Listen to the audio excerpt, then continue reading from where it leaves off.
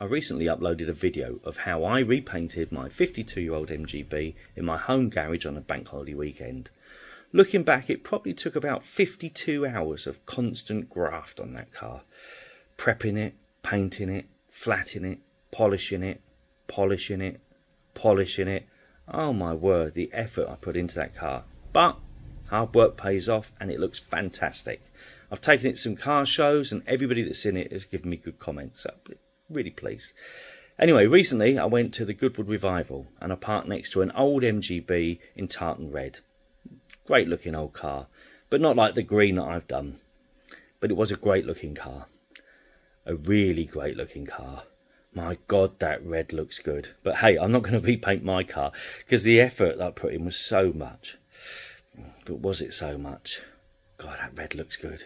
It looks really good. Ah, well, I'm going to do it again. She's going red.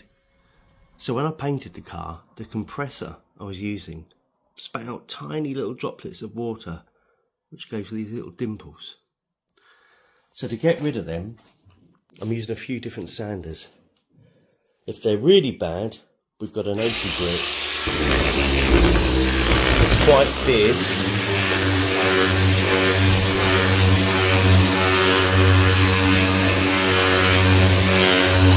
But it eats through the lacquer and gets that semi-flat finish.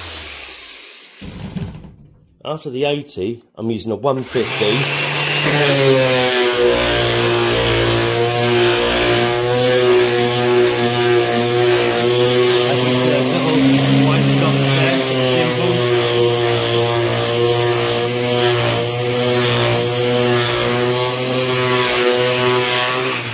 And then to prep it for finish, I'm using a 500 grade.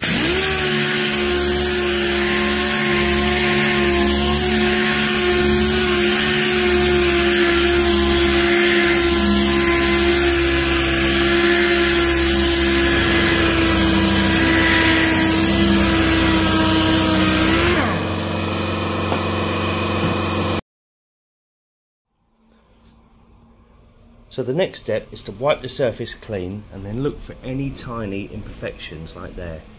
When you see that, we'll dab a little bit of a touch-up pen in those holes.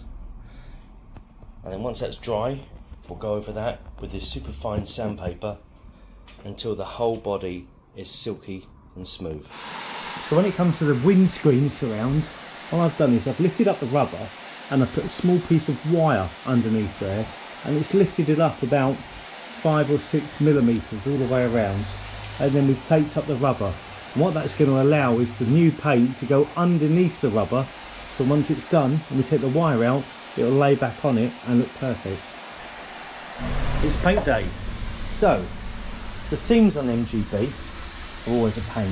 You get little tiny cracks and gaps and imperfections along them. So what I've done is I've mixed up some two pack primer, very thick, and I've gone along here with a paintbrush. Yeah, a paintbrush. And I've filled in all the small imperfections. I've then used some sandpaper and I've gone along it so it's really silky smooth. So that two pack primer has got into all the little gaps and made it perfect. So to get the car ready for its paint, I've blown all the dust off with a Makita air blower, which has got most of it off, but then I've gone along it with the airline. And finally, I'm using a tack cloth just to make sure we're dust free. Now when you paint a car, you need to check the air temperature and the humidity in the room because if there's any damp in the air, the paint finish will look like this sanded part and it'll be white murky. So to get around that, you need to raise the ambient air temperature and warm it up. So to do that, I follow my wife's hair dryer, which is slowly warming the temperature. And as long as she doesn't see this video, I'll be alright. But if she does, oh. Let's try a little experiment. Same pump, same car, same garage. The only difference is professional painter.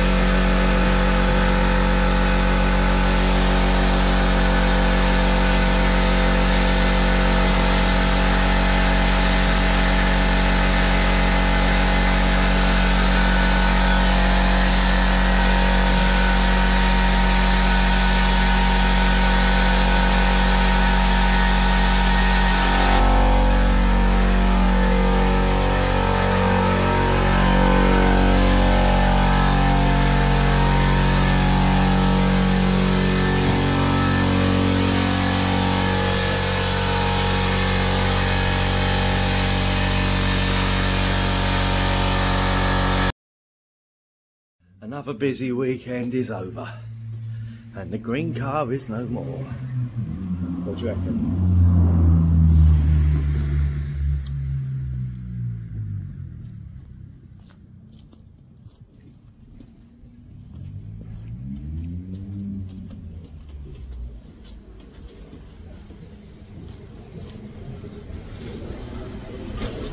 Does look better than the green.